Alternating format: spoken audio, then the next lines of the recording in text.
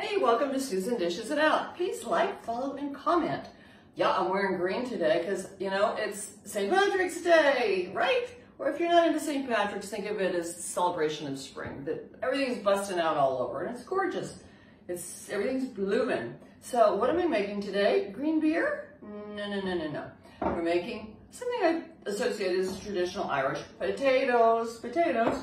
Now, I'm making potato salad. It's not a traditional Irish recipe, but it's potatoes. You know, did you know the Irish brought potatoes to this country when they came over? They were introduced in Europe in the 1500s. They were cultivated in around 8,000 years ago in the Andes. Now, and the Andes have about, I don't know, four or 5,000 varieties of potatoes. That's a lot of potatoes. So I use, I never peel my potatoes. I always buy organic. So, but you know, you want to scrub them. And I have a bunch of stuff I'm to add. Um, I'm to, I have a little bit of leftover mustard. And what you do when you have, when you have um, just a little bit of something like this, mustard or mayonnaise in a jar, you can put your, you know, put your ingredients in and just kind of stir them around to get the last of the mustard out. So use it all up. And I don't know where I got that. Maybe my mother. Um, okay, so I'm to add olive oil and a little bit of mayonnaise. And this is really pretty healthy mayonnaise. It's with avocado oil and eggs and mustard and not much else, a little vinegar. You can always add more. I'm going to just try this. You can always add more. You can't take the oil out. So, um, yeah. So, uh, and then I'm going to add some scallions. And we never had onions growing up. Uh, my parents always said, well, onions and garlic don't like me. We like garlic and onions, but they don't like us.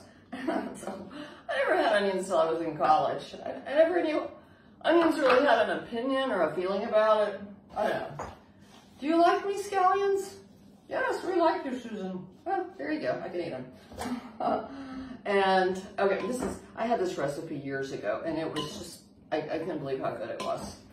So yeah, I think maybe just a little bit more mayonnaise or, or olive oil, but you can always add it. So there's a lot of things you could add to this now. I've got some tarragon here, and I've got some um, dry mustard, which is good also. And I'll let you know later if it needs a little bit of tamari, a little bit of salt, salt. And what I did was I, you can buy them roasted, but I roasted some sesame and sunflower seeds. And I'm gonna, and salted them just a little bit. I'm gonna mix those in, it's gonna be so good. But first, actually, I think I'll, well, no, that's good. I'll do it like that. So, yeah, and you can put all kinds of nuts or seeds. You could use pistachios. I think I put a few cashews in there too. Really good. And uh, what have we got here? So, that and I'm put the fresh parsley is always nice. If there are things you don't like, don't add them. And if there are things you want to add that I haven't added, feel free. You can add various vegetables to this if you like. Some chopped up parsley, whatever you like, whatever you like. And this is really pretty proteiny, that's the word, um, because I'm adding sprouts. The nuts and seeds do it protein, and sprouts, alfalfa sprouts. And that just a little flavor. So I think as some recipes call for apple cider vinegar. I'll try this and then I'll I'll tell you if it needs a little more vinegar or mustard. So what else was I gonna tell you? Yeah, there was a potato famine in like 1845, 1850 in Ireland. And some people lived on nothing but potatoes for four years. So I guess you can do it if you have to.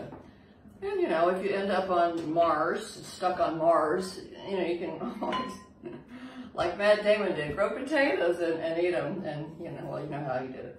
I won't go into that. Oh, and another thing I wanted to add is peas. I love, I love, nothing says spring to me like English peas, fresh English peas. So I'm gonna, I made a bunch of peas and I'm gonna put these in too for more protein. So you got all kinds of protein in this. It's nice to serve this over um, a bed of spinach or whatever your favorite green is. And you can add olives, you can add a few chopped up carrots, that kind of thing. And what else was I gonna tell you? Um, got my recipe over here. Uh, yeah, I'll show you the, uh, when I was in Peru, we had a lot of potatoes. So I'll show you one place where we ate that just had a number of potatoes and they it was so nice. They cook them on the ground, just throw them on the fire. Oh, they were so good like that. So that's about it. And um, see how this is gonna taste. Don't have to wait to see. And it's gonna be good now, but after the flavors melt tomorrow, it'll be even better. You know, we're getting into spring and summer. You're gonna wanna take those potato salads to, to picnics and cookouts. And, you know, potato salad's good all year. But, mm, good. Mm, mm. And people say, um, be careful of the mayonnaise. I read somewhere that it's it's really the onions that you have to watch out for, leaving them out too long. Isn't that interesting? So I think that's it for Susan Dishes It Out. Happy St. Patrick's, happy spring. Excuse me for eating. I gotta eat more. Bye. Thanks for joining. See you next time.